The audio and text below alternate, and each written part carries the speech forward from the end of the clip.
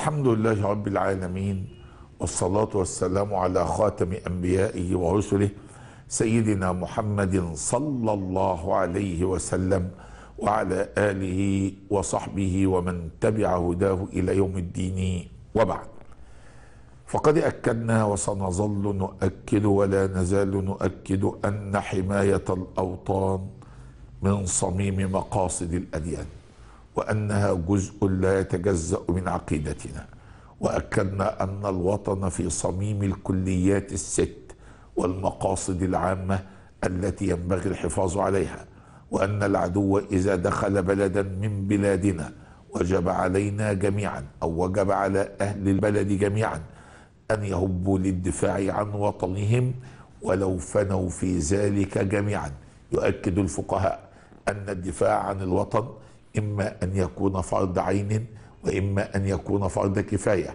فإذا دخل العدو بلدا من بلاد المسلمين كان الدفاع عن البلد فرض عين على أهله جميعا كبيرهم وصغيرهم رجالهم ونسائهم حتى يحموا وطنهم يقول أهل العلم ولو فنوا جميعا ولم يقل أحد على مدار التاريخ الإنساني أو الإسلامي أن يفروا من وطنهم. أو أن يتركوا الوطن لعدوهم نجاة بأنفسهم أو نجاة بدينهم. ثم إن حماية الأوطان أمر غريزي وأمر فطري وأمر يتصل بالعزة والكرامة. ولذا راينا العرب في جاهليتهم قبل الإسلام يعتزون بكرامتهم وبالدفاع عن أرضهم وعرضهم وكرامتهم؟ هذه امرأة أعرابية نعي إليها أبناؤها السبعة في يوم واحد في معركة واحدة. فكان كل ما يعنيها وما سألت عنه أقتلوا مقبلين والقنا في نحورهم أم قتلوا مدبرين والقنا في ظهورهم؟ فقيل لها بل قتلوا بل قتلوا مقبلين والقنا في نحورهم فقالت الحمد لله أنهم كانوا رجالا قتلوا مقبلين غير مدبرين. ثم أنشأت تقول أبوا أن يفروا والقنا في نحورهم ولم يبتغوا من خشية الموت سلما ولو أنهم فروا لكانوا أعزة ولكن رأوا صبرا على الموت أكرما. ولكن رأوا صبرا على الموت أكرما. وعندما أحس أحد الأبطال بلحظة تردد من نفسه أنشأ يقول أقول لها أي لنفسه أقول لها وقد طارت شعاعا من الأبطال ويحك لن تراعي فإنك لو سألت بقاء يوم. زيادة يوم فإنك لو سألت بقاء يوم على الأجل الذي لك لن تطاعي فإذا جاء أجلهم لا يستأخرون ساعة ولا يستقدمون. ولذا كان أحد الأبطال يقول في أي يومي من الموت أفر؟ أيوم لم يكتب أم يوم كتب؟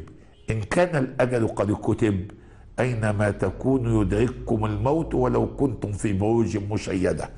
وإن كان لم يكتب فلو اجتمع الناس جميعا من كل حدب وصوب ليس لك إلا ما كتب لأن الأجل لا يتقدم ولا يتأخر وله ساعة ووقت وأجل فكان الشاعر يقول لنفسه فإنك لو سألت بقاء يوم يوم واحد على الأجل الذي لك لم تطاعي فصبرا في مجال الموت صبرا فما نيل الخلود بمستطاع سبيل الموت غاية كل حي فداعيه لأهل الأرض داعي وما للمرء خير في حياة إذا ما عد من سقط المتاع بل إن الأبطال الكراماء على مدار التاريخ يرون أن الموت بعز خير من الحياة بذل وأن الموت بشرف شامخا قويا في الدفاع عن دينك ووطنك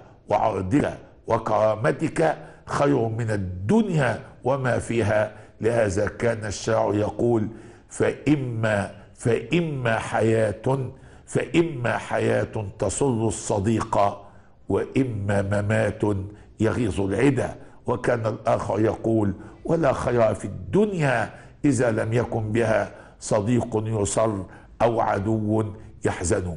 وإذا كان من يدافع عن نفسه أو ماله أو عرضه فهو شهيد فإن من يدافع عن أرضه وعن وطنه وعن المال العام وعن العرض العام أعلى نفسا وأعظم مروءه وأنبل شهاده فالشهادة في سبيل الوطن من أعلى درجات الشهادة في سبيل الله إضافة إلى ما يتمتع بها به إضافة إلى ما يكون لصاحبها من المكانة عند الله. نسأل الله عز وجل أن يحفظ مصرنا من كل سوء ومكروه والسلام عليكم ورحمة الله وبركاته.